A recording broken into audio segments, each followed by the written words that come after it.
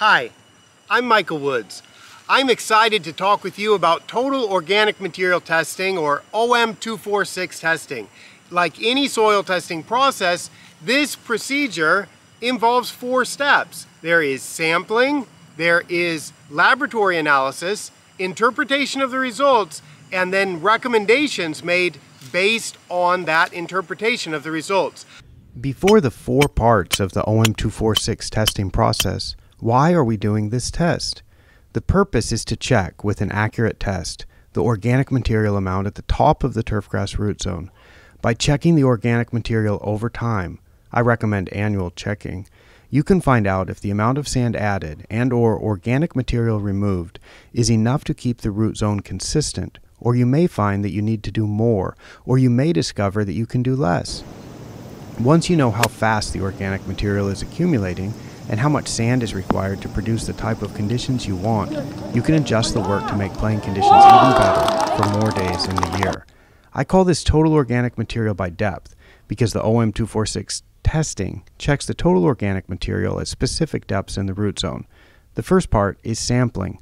We take soil cores or soil profiles and cut them at specific depths, at 2, 4, and 6 centimeters below the soil surface.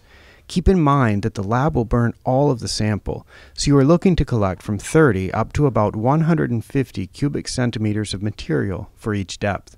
I recommend taking five subsamples from each green tested.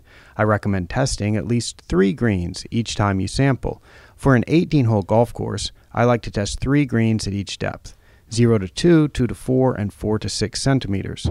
I like to test an additional three greens at the 0 to 2 centimeter depth only. There's actually quite a bit of variability in total organic material right at the surface of the green. If the average OM2 on a green is 6%, and if you take only one subsample, that could test at 3.9%, at 4.7%, or at 8.3%. We can't measure the entire green, that would require a sod cutter. What we can do is take multiple subsamples from a green and average them. For a typical grain, combining five subsamples is going to get us close to the overall average. After we've done that sampling method on multiple grains, five subsamples per grain on at least three grains, I'm confident that the average OM2 value is accurate and is suitable as a decision making criterion. The second part of the testing process is laboratory analysis. There are two distinctive parts of the OM246 testing method that I want to highlight. First, the laboratory measures the organic material on 100% of the sample. You are probably already aware that soil organic matter is measured on soil that has passed through a 2 millimeter screen. Anything that doesn't pass the screen gets discarded. That means roots, thatch, mat, rhizomes. Those don't get measured on a standard soil organic matter test. Second, the OM246 sample is measured in its entirety.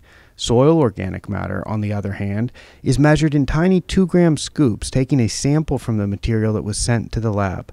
When trying to measure thatch and mat and sand from the top of the root zone, you have to measure all of it. It's not possible to scoop a representative mix of thatch and sand once they are dried and crushed. The beauty of OM246 is there are no screens and no scoops, and no thatch that gets discarded. It's all getting measured. The sample is burned until all the organic material turns to ash, and the mass lost through burning is called the total organic material of the sample. The sand and soil stays the same mass, it doesn't burn, but the organic material burns away to a white ash at 440 degrees Celsius in the muffle furnace. The third part of the OM246 test is interpretation of the results. Now that we have the total organic material numbers, we will try to figure out what they mean. To do this, I find it useful to look at a few things, and I show the results this way on the reports I send to clients. First, I show how the total organic material has changed over time. Is it staying the same, increasing, or going down? I also show how the total organic material compares to other greens of the same species. Although we won't make decisions simply by comparing to other greens, it is useful to know how one's greens compare. Are they lower or higher than usual? A third thing I look at is consistency from green to green. Is one green at 10% and another at 17%? Or are all the greens clustered around the same value? It's useful to consider the within course variability. Now we've identified a few things how the organic material is changing over time, how it compares to other greens of the same species, and how it varies between greens on the same property. Based on these results, it's time to make recommendations. This is how I do that. I start by looking at a few data points. How much sand has been applied? What amount of core removal, sand injection, or scarifying has been done? How much N was applied and how much did the grass grow? From these three things sand, organic matter management, and growth the work can be adjusted to produce better surfaces in the future.